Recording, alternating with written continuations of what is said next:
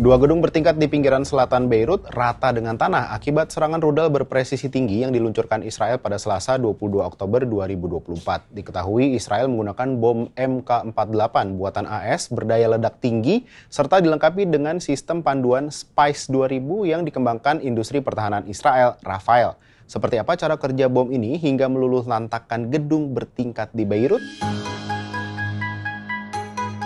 Bom Spice Smart Precise Impact Cost Effective adalah rangkaian bom berpemandu yang dikembangkan oleh Israel menggantikan bom JDAM Amerika. Bom yang dikembangkan oleh Rafael Advanced Defense System ini menggunakan perangkat navigasi satelit dan probe optik elektronik. Seorang pilot jet tempur juga dapat mengarahkan bom secara manual ke sasarannya. Keluarga bom Spice mencakup 4 seri yaitu Spice 250, Spice 1000, Spice 2000, dan Spice 250 IR.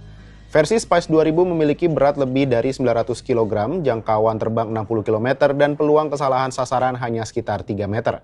Bom ini dirancang untuk beroperasi dalam segala kondisi cuaca sehingga menjadi pilihan andal untuk berbagai skenario pertempuran.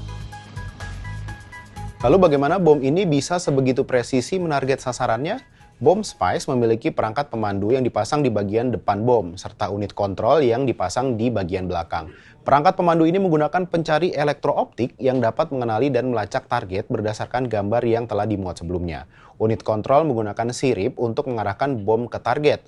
Bom juga bisa menggunakan koordinat GPS untuk memandu dirinya sendiri jika jarak pandang buruk atau terjadi gangguan.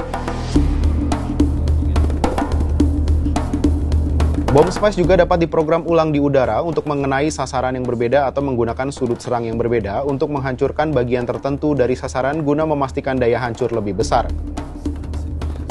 Ada beberapa keunggulan bom Spice dibanding bom konvensional, seperti akurasi dan presisi lebih tinggi, jangkauan dan kemampuan meluncur lebih jauh, hingga kemampuan dan kecepatan mengunci target bergerak, target dengan sistem penolakan maupun tipuan GPS. Karena terbilang senjata canggih, hanya segelintir jet tempur yang dapat membawa bom pintar ini, seperti F-16, F-15, Panavia Tornado, Saab Gripen, dan Mirage 2000. Bahkan Angkatan Udara India kabarnya tengah mengembangkan solusi agar Spice nantinya bisa dilepaskan dari Sukhoi Su-30 Faktanya, bom Spice mendapat banyak kritikan dari beberapa kelompok dan aktivis HAM sebagai alat peledak brutal karena menyebabkan banyak korban sipil terutama di daerah padat penduduk serta melanggar hukum humaniter internasional. Bom Spice juga dituding digunakan untuk serangan yang tidak proporsional dan tidak pandang bulu serta menargetkan infrastruktur maupun fasilitas sipil seperti sekolah dan rumah sakit. Sampai jumpa di bahas peristiwa berikutnya.